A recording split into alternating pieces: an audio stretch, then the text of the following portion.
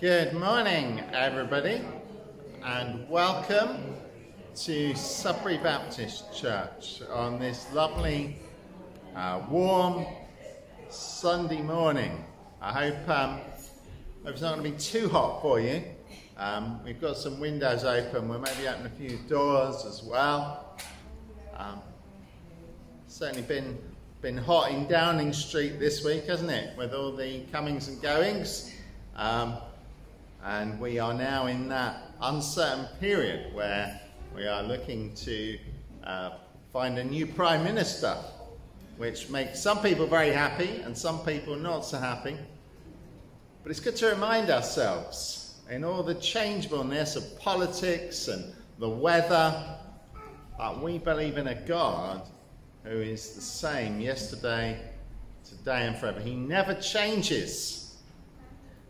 And we come to put our trust in Him. He is our rock, He is the one we can truly rely on at all times. So let's come to God, shall we, in prayer. And we're going to come to worship Him. Father, we thank you that though things may change in the world, Though governments may change, climate may change, public opinion may change. Yet, Lord Jesus, you are the same, yesterday, today, and forever. And we come to worship you, the one constant in our lives, the one person that we can truly rely on at all times. We thank you that you never leave us, you never forsake us that your love is constant towards us. And we want to pray, Lord Jesus, that as we worship you, we might understand just a little bit more about who you are and what you've done. So we come before you, Father, Son, and Holy Spirit. Say, move in this place and bring glory to Jesus. Amen. Amen. Perhaps you'd stand.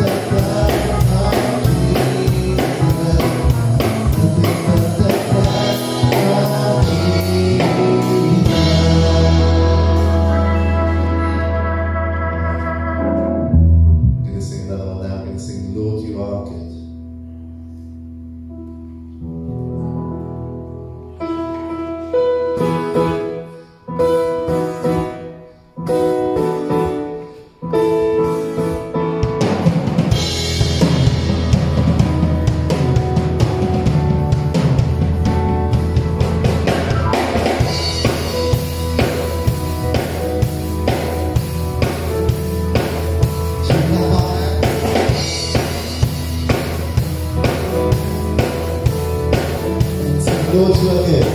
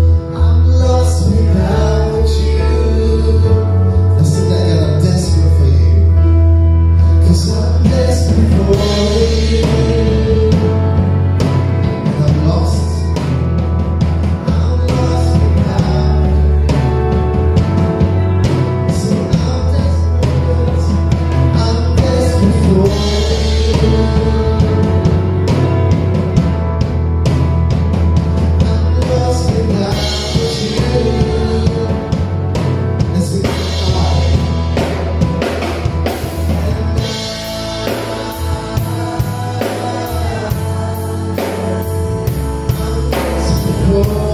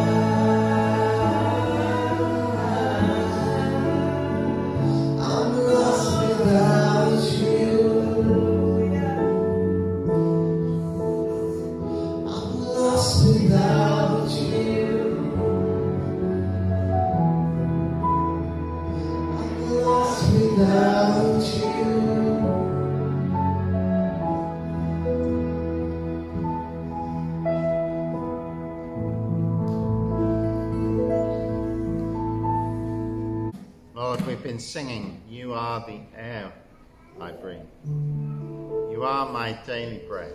And Lord, if it wasn't for you sustaining us, nurturing us, that Lord, we would have no hope. And Lord, we worship you for all that you've done for us. And Lord, I want to pray that if, if it's not already there, but that you would put within our hearts a hunger and a thirst for more of you.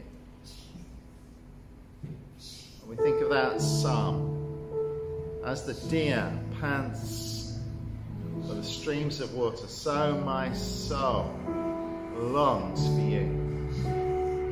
And that picture, many pictures in the Bible of a desert, of dryness, of lack of water, and that longing, that longing to be filled. And we thank you, Jesus, that you came to fulfill that longing, the longing of all the Old Testament saints, the longing that is in the heart of everyone, whether they know it or not. You came to bring living water.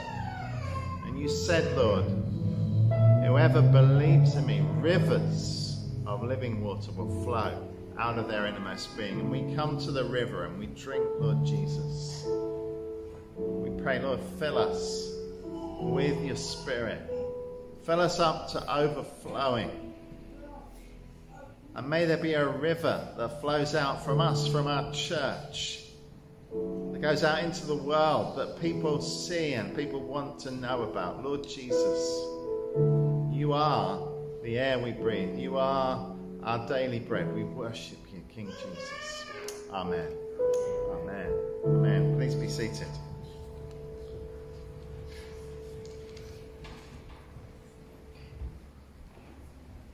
Well, good morning, everyone, and welcome to Sudbury Baptist Church. We do uh, want to welcome you if you are a visitor, especially if it's your first time, and we welcome all those who are watching on YouTube. And we want to pray that we might know something of that, that refreshing. Um, I don't know where you're watching this from, if you're watching later, but we are uh, here today in the heat and it's just going to get hotter this week. Um, but that's why we want to pray, not just for physical refreshing, but for spiritual refreshing to uh, give us all that we need to live for Jesus. And I pray that as we meet this morning and as we listen to God's word, it would be that daily bread, it would be that living water coming to nourish us just a couple of uh, notices. One is to say that it's a family service today. Uh, so there won't be any uh, Sunday school or teens. There will be a creche available if you need to take your uh, child up to the creche. Because it's a family service, it will probably be a little bit shorter than normal, which you might be grateful of if you're sitting there uh, melting in the heat. Um, and uh, just to ask uh, for your prayers uh, for Maud. Um, I went to see Maud this week. Maud's taken a little bit of a, a downturn, and uh, she's come out of hospital, but she's not 100% yet. So just remember Maud and the family in your prayers. Sorry? Oh, she's got back in. Okay. So Maud's back in hospital now. So just remember that family in your prayers at this time. Um, we've also got um, some family news, some things to celebrate. And uh, we've got a couple of birthdays this week. And it's Olive's birthday. Is it today? Olive? It's today. I'm, I will not give away your age unless you, you want me to. Um, but huge congratulations to Olive. Olive is our senior church member. and we're just grateful that, that you're here, Olive. And uh, we hope that you have a wonderful day. Um, and it's a birthday tomorrow, and it's Evie. And I'm sure Evie won't mind me giving away her age, will you? She's 28. No, she's not. Something with an 8 on, isn't it? Yeah, anyway. Um, 8! Yeah, she's 8 tomorrow. So Anybody else got a birthday this week coming up? Oh, yeah.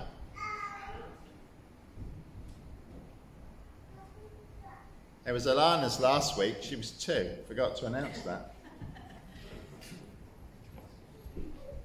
It's just to say, obviously, I mean, Olive is a, lovely age of 93, and I think she's doing fantastic. And obviously, Eva's eight years old today. And there's uh, two beautiful cakes for, from, for Evie's birthday and for Olive's birthday. So I think we should sing happy birthday to Olive and then sing happy birthday to Evie. So happy birthday to you. Happy birthday to you. Happy birthday, dear Olive. Happy birthday to you. That's Evie. Happy birthday to you. Happy birthday to you. Happy birthday to Evie. Happy birthday to you. So do come out and celebrate the cakes, the beautiful cakes that's coming um, after the service with tea coffee. And, and, there, is, there is quite a lot of cake, so you yes. may have to take cake home. Okay, so that would be sad, wouldn't it, if you have to take it home as well as have some after the service. So um, that's birthdays. Uh, any other birthdays? No? Well, we'll, uh, I'm sure there'll be some um, later on uh, in the year. Um, so this is a family service, um, and I'm um, just going to pray, going to pray for Maud. Um, let's just spend a few moments in prayer, shall we, and pray for our nation at this time of transition with the Prime Minister as on the way out and a new one on the way in. Um, let's, let, us come to God in prayer, shall we? Father, we bring to you our church family. Lord, we, we thank you for the birthdays we've able to celebrate today. We thank you for Olive, for all her wonderful years of faithful service here at Sudbury. And Lord, we thank you that she's been just such a huge part of the life at Sudbury. We, we, we ask you to bless her on this special day. Lord, we thank you for Evie, and we thank you for bringing her to us, and we pray that her birthday tomorrow would be very special too. Lord, we bring our sister Maud to you, who's been very unwell and has been in and out of hospital and is back in now. And we pray, Lord Jesus, that you would draw near to her you would strengthen her. And you pray, we pray you give the doctors wisdom, and we pray that you'll be with the family as they're concerned for her. Lord Jesus, we commit that whole family into your hands now. Lord, we do pray for our nation. Lord, you say in your word to pray for kings and those in authority. And Lord, we're at a very crucial point as a nation where there is uh, a lot of difficulty with finance, with uh, fuel costs, and many people are, are, struggling at this time. And, and Lord, we need clear direction and we need good policies from our government. And we pray, Lord Jesus, that whoever steps up into the role of Prime Minister, Lord, that would be the person that you know is best for our nation. We pray that you would be at work in that whole selection procedure. Lord Jesus, we, we bring our nation to you. We bring our world to you as well. Lord, we uh, continue to pray for Ukraine as that conflict carries on. Lord, we've, been, we've also seen images from Sri Lanka of the uh, social upheaval there. And we pray for that nation. We know that we have people from Sri Lanka in the fellowship. We've got connections there. We want to pray for that nation, that peace would come. And Lord, we pray that we might look to you with faith because it, it would be so easy to look around at all that's happening and to be fearful, to be anxious. But we want to remind ourselves that you are on the throne. You are King Jesus ruler of the earth, and we worship you. And now, Lord, as we come to take up our offering, we pray that it might be an act of worship, that we might give with glad and generous hearts. You are our provider. You are the one we look to for all things. Accept these gifts for Jesus' sake. Amen. Amen. We're going to take up our offering now.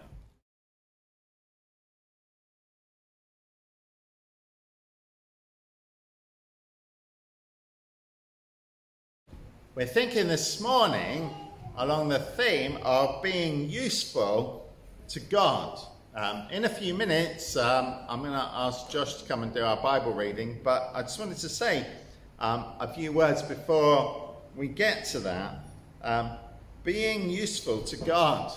We've had some birthdays. Um, we've had uh, Evie's birthday at the very young age of eight, and Olive at 93, two different um, ends of the age spectrum.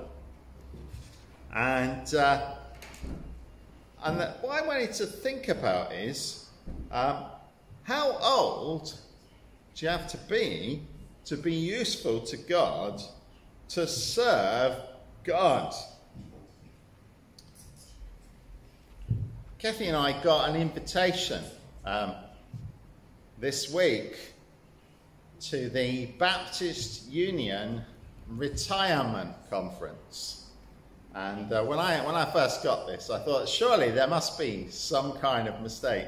Um, they've sent it way too early. Um, but uh, it's all about transitioning from working life into retired uh, life. And, and it got me thinking about how we categorize uh, people according to age. And so you have the uh, young people, children, and uh, they might leave school at 16 or 18, might go on to further studies, might begin their working life, so-called working life at the age of 22, but depending on whether you leave school and work straight away at 16, 18 or 22 after uni, you uh, and then with a retirement age of 66 at the moment, although it seems to be sneaking up, doesn't it? Um, but you've got about either 44, or 48 or 50 working lives, some, something like that, isn't it? Work is an interesting thing that although lots of people um, hate work, some people really don't like their jobs at all and they don't want to go to work. There, there, is, there is an interesting fact that actually we need to feel useful. We need to feel that there's something we can do. And, and people that can't get work often feel very unfulfilled. Um, and, and it's good psychologically, it's good for our mental health to be working and to feel useful. If, you, uh, if you've got young children, you, uh, you know this character, um, Thomas the Tank. And uh, Thomas the Tank Engine always wanted uh, to feel that he was a really useful engine. And that was one of the things they said uh, on numerous occasions through that series. Although it's a few years since I watched um, Thomas the Tank. God wants you and I to be useful and to feel useful. There's a Bible verse here. In a large house, there are articles not only of gold and silver, but also of wood and clay. Some are for special purposes, some for common use. Those who cleanse themselves from the latter will be instruments for special purposes, made holy, useful to the master, and prepared to do any good work. And Paul was, was talking to Timothy there, and he was saying, It's good to do something for God uh, so that God can use you and you feel useful. You're useful in the Master's work. And so one day you can stand before God and He'll welcome you to heaven and He'll say, Well done, good and faithful servant. So I come back to my first question How old do you have to be to feel useful to God?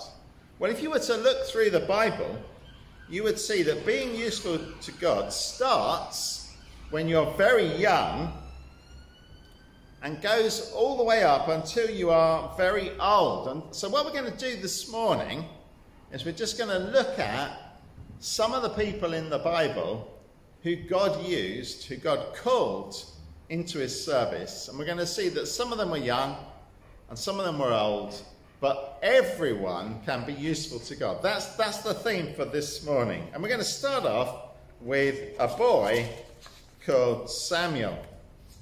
And uh, Josh is going to come and, uh, and read this story to us. 1 Samuel chapter 3.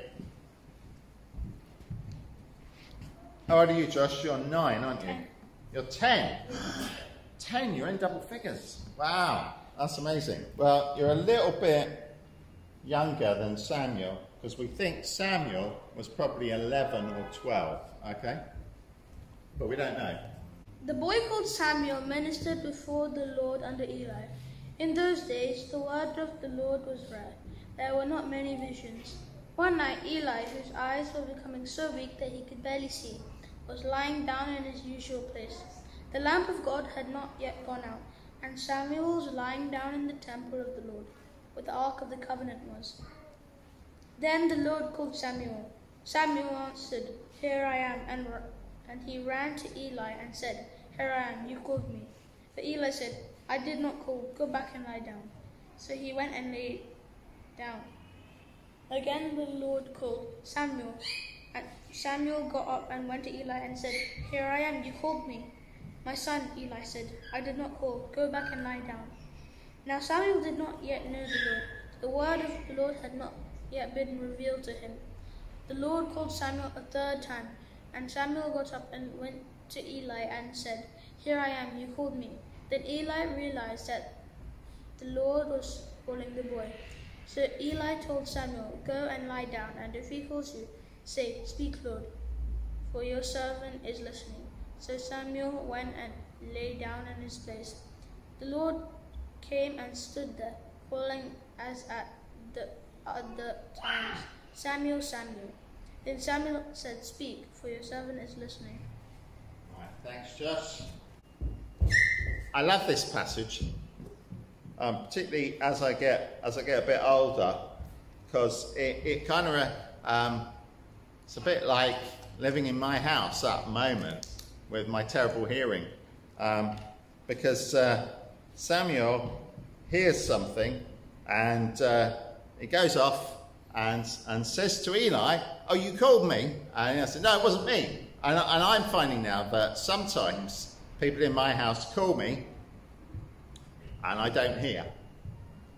sometimes they call me and I think they're upstairs because with only one ear working, you've got no sense of direction. And I trot upstairs and I go, Oh, where are you? Oh, I'm downstairs. Or I go downstairs and they go, Oh, I'm upstairs. And sometimes I say to my family, um, did, did you call me? And they go, No, we, we didn't say anything. So it's very confusing because sometimes sounds and clicks and things I hear sounds like somebody's talking to me. So it's interesting. I love this story about Samuel who didn't know who was talking to him. And uh, of course, he was a lot younger than I was. As I say, he was probably about 12 years old, 11 or 12 years old. But this is the beginning of a really, really important um, part of the Bible story and uh, a turning point in Samuel's life where it says before this he didn't know God. You know, he'd been uh, brought up in the temple, he, he knew a lot about God, he was trained up to know uh, about God, but he hadn't yet had a personal revelation. He hadn't actually had a personal experience of God. And there's just a lesson in that by itself that each one of us needs to know not just about Jesus, but we need to know him. And uh, God can speak to people, and God can call you to be a Christian at any age. And I, I know people who've been through this church who've said to me, um, you know, God, God called me to follow him when I was six or when I was seven. And some people in the church here have been baptized at a very young age. And, uh, and they've gone on to serve God because they've just known God has spoken to them. So Samuel um, didn't know it was God, but he learned to recognize God. And uh, that was a turning point. And God told him that he was going to be a prophet. And he was going to have to actually say some quite difficult things to people but he learnt to hear God and he learnt to be useful to God. And, and I love this uh, bit a bit further on in, at the end of this chapter, as it says, The Lord was with Samuel as he grew up and let none of Samuel's words fall to the ground. That's a funny thing, isn't it? Fall to the ground. What does it mean by that? What it means is, have you ever, you ever spoken to somebody and they're not really listening to you? and you think, you're not, you're not listening. And it's as if your words are coming out of your mouth, but they're not reaching the other person's ears. Some people are nodding going, yeah, I, I know that experience, yeah. Some people are saying, I've spoken to you, Graham, and you, you haven't heard me. Um, I've got an excuse, at least, I'm deaf. Um, but it's like your words come out of your mouth and they fall to the ground and they don't reach the people. But Samuel, it says, God let none of Samuel's words fall to the ground. And all Israel from Dan to Beersheba recognized that Samuel was attested as a prophet of the Lord, and the Lord continued to appear at Shiloh, and there revealed himself to Samuel through his words. So Samuel was only 11 or 12. Anybody here 11 or 12? Yeah? Which one? What are you? You're you? Are you 11 or 12? 12. Right we could have not just a future prophet, we could have a current prophet in our midst. There's no, biblically, there's no reason why that couldn't happen, okay? Sometimes we kind of feel that you have to wait till somebody's been in church for years and years and years and they've grown and they've matured before God can really use them.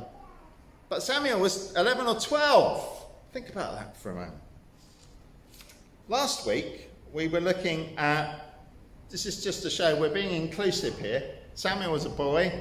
Last week we were looking at a young girl, and I won't um, go through the whole story again, but if you remember, there was this man Naaman. He was a commander of the army of the king of Aram. He was a great man in the sight of his master and highly regarded because through him the Lord had given victory to Aram. He was a valiant soldier, but he had leprosy and we read that now bands of raiders from Aram had gone out and taken captive a young girl from Israel, and she served Naaman's wife. She said to her mistress, If only my master would see the prophet who's in Samaria, he would cure him of his leprosy.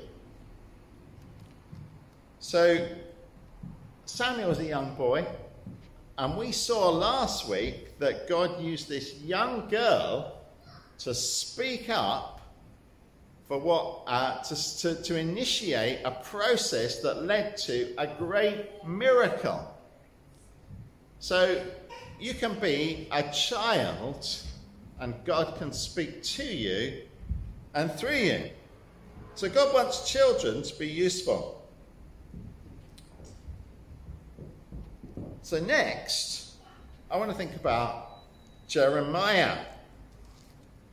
And uh, Jeremiah was somebody who began to realize that God's knowledge of him went right back to even before he was born. Uh, here's a picture of a, of a couple. They just had an ultrasound. And uh, how many of you have seen an ultrasound scan of yourself? Anybody? Yeah, a few people might have done. I remember um, when we first got an ultrasound scan uh, of Rebecca, and uh, we brought this home very proudly. And I was just staring at it for ages, thinking, do you know, I just can't see this at all. Um, and Kevin said, no, no, look, there's, there's the face. And I like, no, I can't see it. I can't see it. Now, these ultrasounds are incredible. You get these 3D ultrasound scans of babies. They're phenomenal. And even, even I can't miss it now.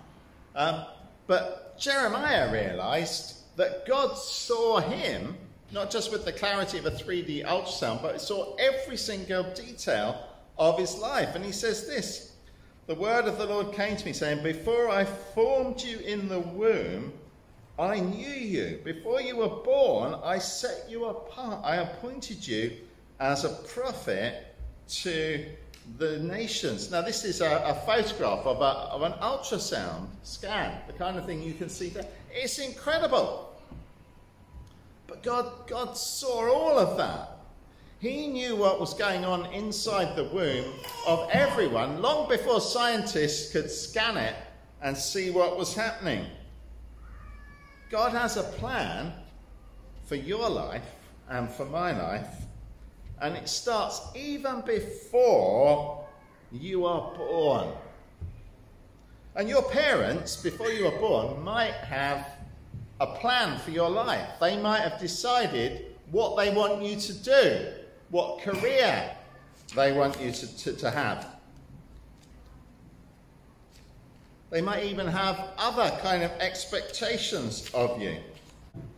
But people have plans. They want them to have a certain job, or maybe they want them to, to, to be a sports person. Um, we were looking a couple of months ago at the Serena Williams and her sister, and how their dad, from the very earliest age, bought these little tennis rackets and put them in their hands and trained them up. Serena and Venus, and they became the most extraordinary uh, tennis players that they are today.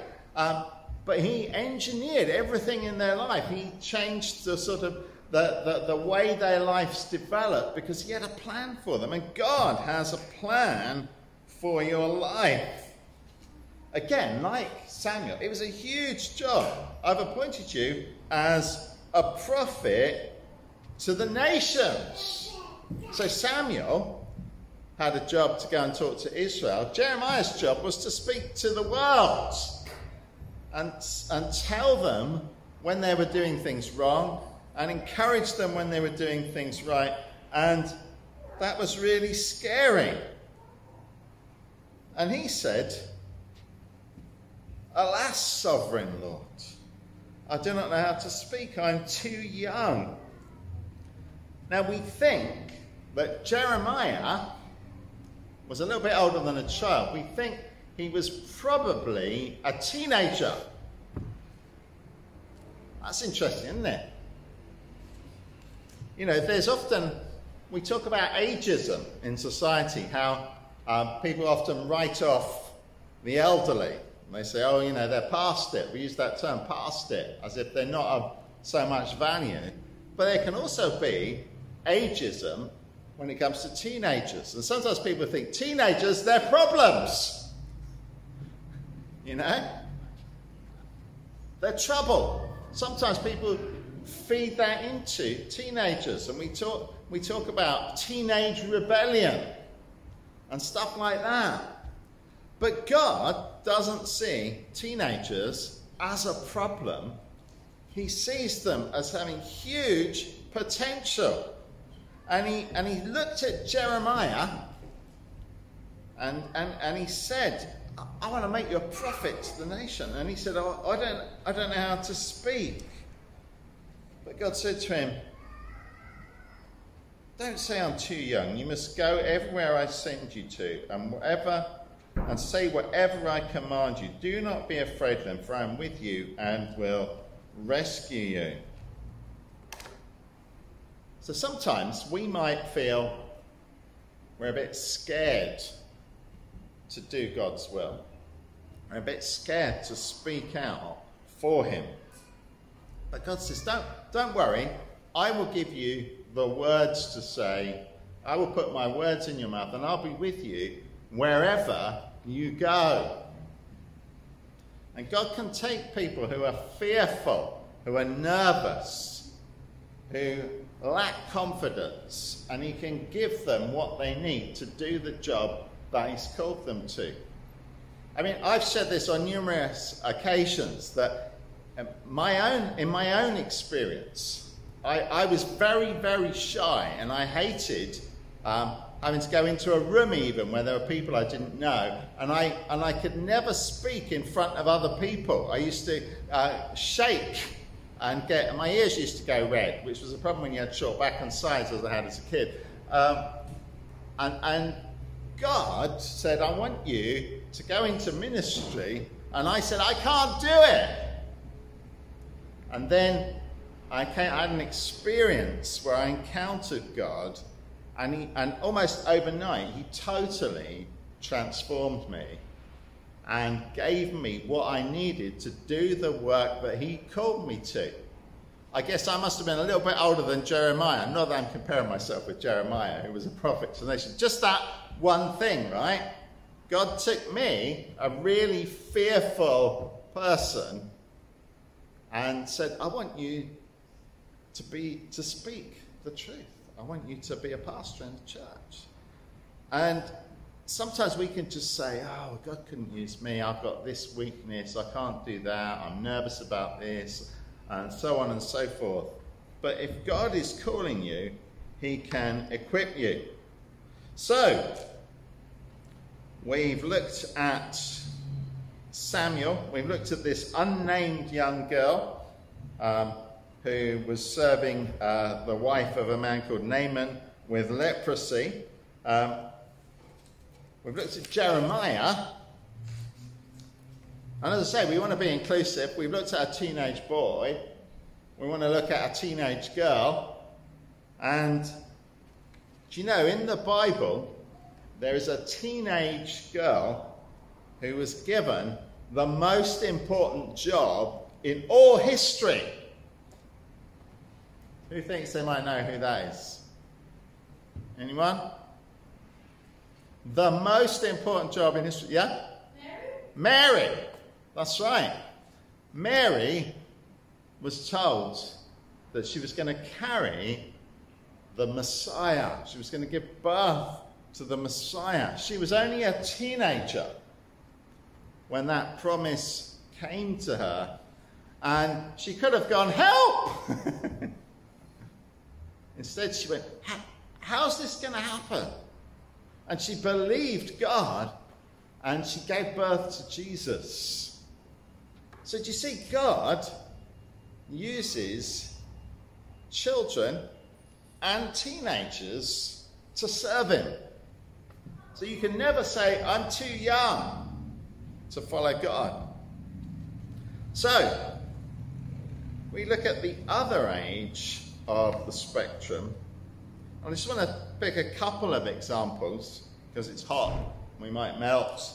Um, but Moses, Moses Does anybody remember how old Moses was when God called him to set the Israelites free from Egypt? Anyone know? And it's even older than I am, yeah? Gosh, he's thinking it can't be older than Brown, yeah? Uh, so what did you say? 56. No, he was 80, just coming up to 80 years old when God called him. And he was probably thinking about his retirement, probably got his yacht stashed away. Thought, I'm 80 now, and I've been looking after the flock. It's kind of hard work, you know. I don't know what people dreamed of uh, when they lived in that culture back then, because they didn't, they didn't have yachts, did they? Um, This is, this is a picture of my yacht. I've never shared it with you, but you know, I'll be, I'll be, no. There we go. But Moses was nearly 80, or just about coming up to 80, when God called him. And there's that great story um, of the burning bush. There's a bush it's on fire in the desert. And this was not at all uncommon. You know, you get bushfires, don't you? get fires in the desert. And we see those pictures, don't we, of terrible fires where there's a dry, uh, barren land. We see fires sometimes sweeping across, engulfing whole kind of territories. And, and he sees this bush and it's on fire, but it's not burning up. And he thinks, oh, that's a bit weird. It's strange. So he goes over to see it. And, uh, and then says, God called to him from within the bush, Moses, Moses. And Moses said, Here I am. Now, what I find strange about this story is he's talking to a bush. I mean, if you think about it. Um, but God sometimes uses strange things to talk to people. My favourite one is Balaam's donkey, um, where God opens the mouth of a dumb animal and stops the prophet in his tracks. But here it's a bush. So he goes over and God, God speaks to him. And I don't know whether he was a bit, oh, this is a bit weird. Um, but then God says to him, Don't come any closer. Take off your sandals, for the place where you are standing is holy ground. And just to make it clear to Moses, God says, I am the God of your father, the God of Abraham, Isaac, and the God of Jacob. And we're told that Moses hid his face because he was afraid to look at God. Well, Moses is afraid. Well, you would be if a bush started talking to you. And God tells him he's got to go to Pharaoh. Pharaoh is the most powerful person in the world, probably, at that time. Um, he's got this empire where he's got lots of nations in slavery. And Moses has already fled from Egypt because he was terrified uh, of the Pharaoh, the king. And, and God's saying, you've, you've got to go back there. And I want you to go back there and I want you to speak to Pharaoh and tell him to let my people go. So it's a scary, scary, scary job, isn't it? And uh, Moses is afraid. Moses comes up with excuses. about why he can't do what God wants him to do. Are you good at coming up with excuses? Has anybody had a really good excuse for why they haven't done their homework? People can come up with excuses, you know, the classic one, isn't it? The dog ate my homework. Um, sometimes you drop your homework in a puddle, and you say, and then when you get to school, and there's nothing on it because it's washed it away. I'm sure the teachers here have had some great excuses, haven't you, on why people haven't done their homework. But Moses comes up with all these excuses. He says, I'm not up to the job. I can't do it. Um, I'm a nobody. He's saying, nobody, nobody will listen to me. You know, he's, he's got a very low self esteem. He doesn't, he doesn't value himself very highly at all. And sometimes we can do that when God wants us to do something and we go, oh no, you, you must have the wrong person. I'm, I, I can't do it. I'm a nobody. Or you might say, I don't know enough. How can I speak for God? I don't, I don't really know what to say. Um, people won't take me seriously. I'm no good with words. And sometimes we say, I just don't want to do it. But there we are. There's all the excuses that Moses puts up. If you look at the next few chapters of the book of Exodus, chapter 3, four, 3 and 4, um, 5, I think, a little bit, you find all of these excuses are made by Moses as to why he can't do it. But God has to encourage him and coax him and empower him. And maybe you've got something that you thought um, God wants you to do, but you just pushed it to the side. You said, Oh, that can't be God. It can't have been speaking to me.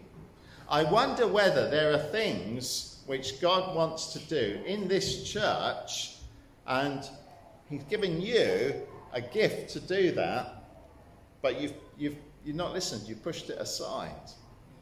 And the church will grow when everybody steps up and does what they are called to do. And the, the interesting thing is, if you look through the Bible, hardly anyone in the Bible ever says, when God calls them, I'm ready. There's a few. As we've seen, we saw Mary said, uh, How's it going to be? And she was very willing. But a lot of people were like Moses or like Jeremiah, said, Oh, I can't do it. Gideon was another one. And he said, "Oh, I, I, you know, I'm just, a, I'm just weak. I'm from a small tribe. I can't do this." Uh, and that is a very common response. But you know, it's not about how what you can do. It's about God's power working in you. So we've seen a young boy, Samuel, a young girl. We've seen um, a teenage boy, a teenage girl. We've seen uh, an elderly man, Moses. So we've got to balance it out be inclusive, and think about um, an elderly woman who God spoke through. But before we do that, I just need to go back a slide um, because this lady, this lady was in the news this week. Did anybody see this article? It's a, it's a very funny video.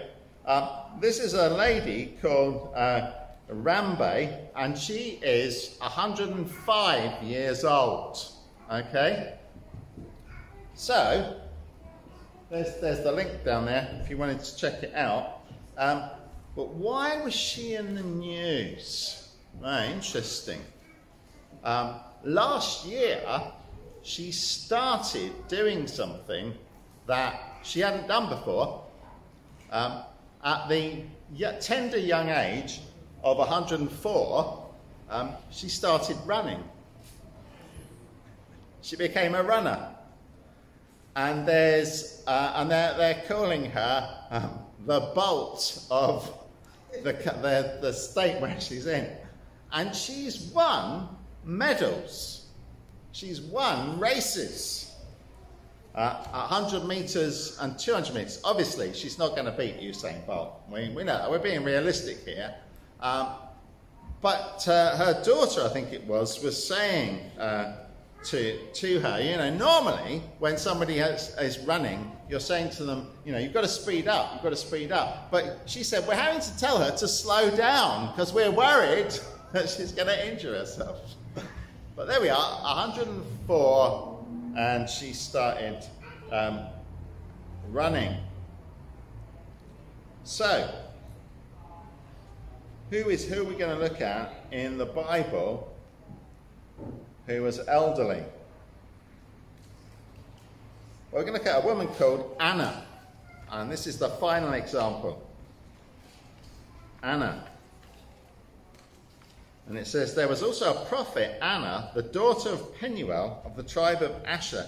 She was very old and had, she had lived with her husband seven years after her marriage and then was a widow until she was 84. Um, she never left the temple but worshipped night and day, fasting and praying. Coming up to them at that very moment, she gave thanks to God and spoke about the child to all who were looking forward to the redemption of Jerusalem. So basically, what happened is Mary and Joseph took Jesus to the temple to be dedicated to God. And there was this elderly lady that was there, and God spoke to her and then through her to Joseph and, and to Mary. Um, now, that's incredible if you think about it. Um, she's worshipping God night and day. She's fasting and she's praying. She's a spiritual woman. She hasn't um, sort of stepped back and, and she's not um, sort of thinking, well, you know, God's finished with me. But she's still serving Him. So there we are. Six people we've looked at. Just a small sample but the lesson is you're never too old or you're never too young to serve God. God calls young people, old people, and everyone in between. As we saw at the beginning, um, Thomas was a really useful engine, and God wants you to be useful in service for Him. We had a dear old uh, gentleman used to come to the church here, Tom Jackson. Many of you remember Tom. And uh, I remember Tom was, um, I think, in his 70s when I first met him and got through to his 80s. I can't remember how old he was when he passed away, but I remember talking to him about when he became a Christian. And he was saying it wasn't until later in life, till I was quite old. And he said, and I regret those wasted years when I could have been serving God when I was younger. And that's why I want to say to you that, you know, we don't know what tomorrow holds. If God is calling you to do something, to follow Him and to serve Him in some way, don't waste time, but start now.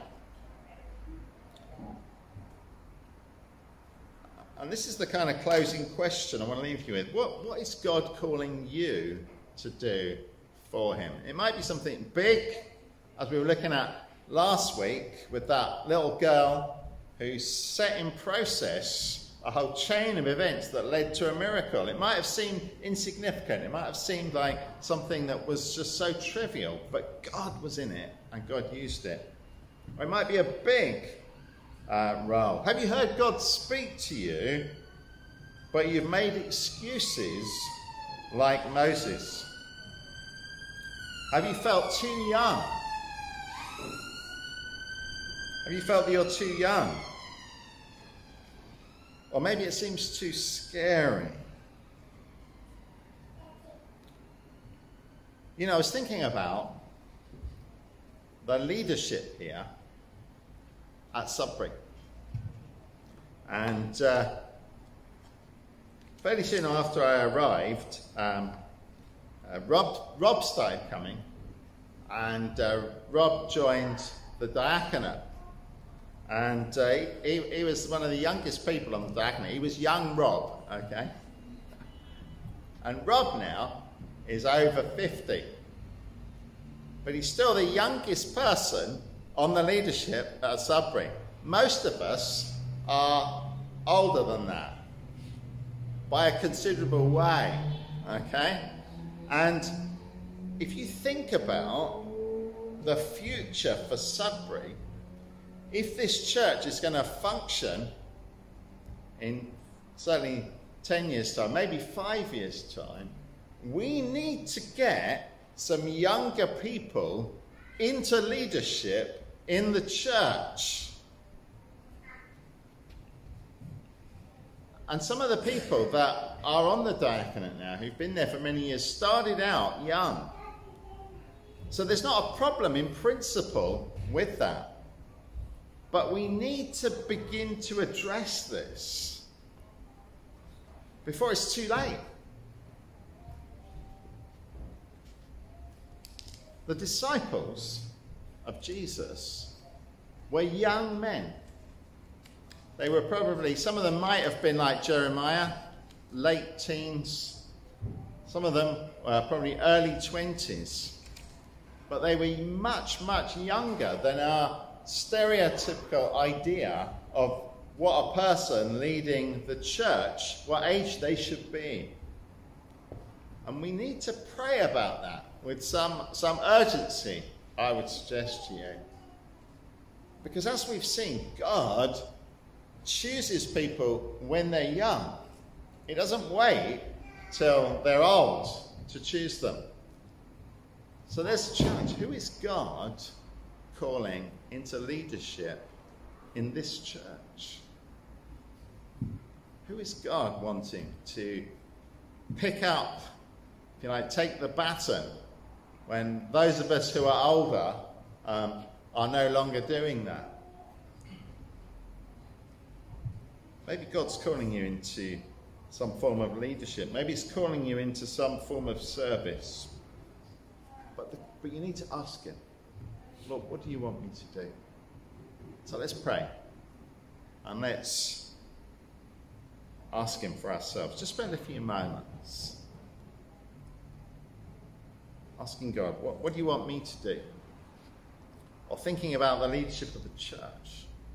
Or what do you want to do about the leadership here at Sudbury?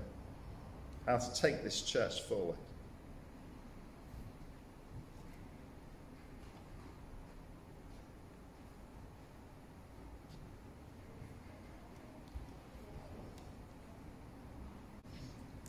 Lord, we thank you for the way that you prepare people for leadership in your church.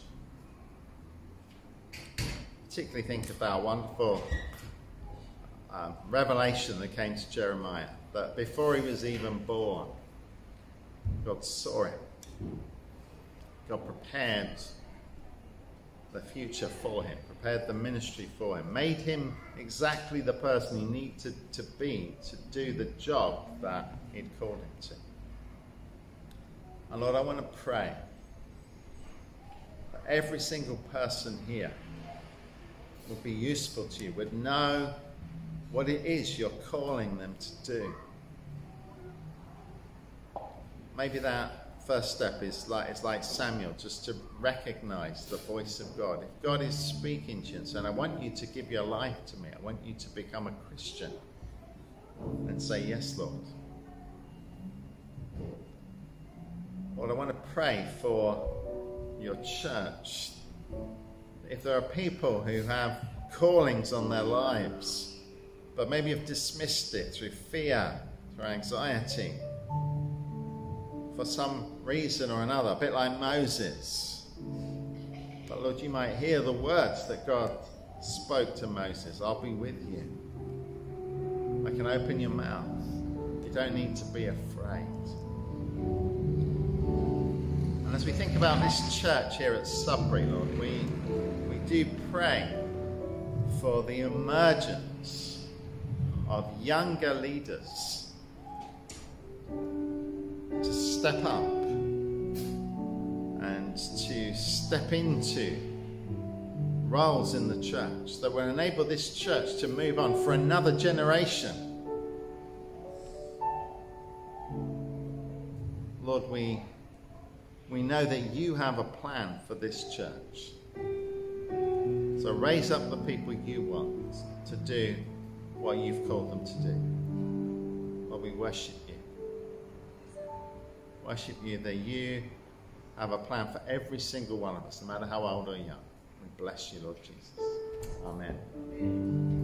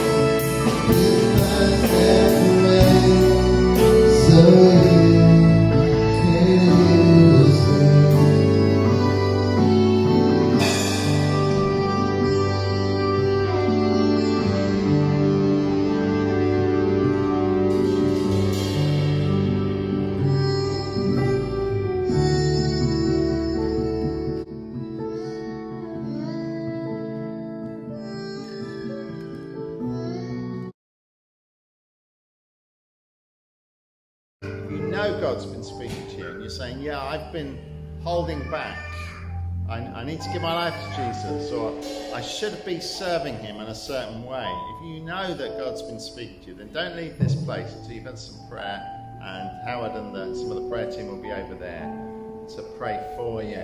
Sometimes we can lose those moments. So thank you for joining us, and uh, we hope if you've got to dash away that you'll have a good rest of the day. But there are cakes through in the hall birth, double birthday celebration, lots of cake, and we hope that you can join us for that.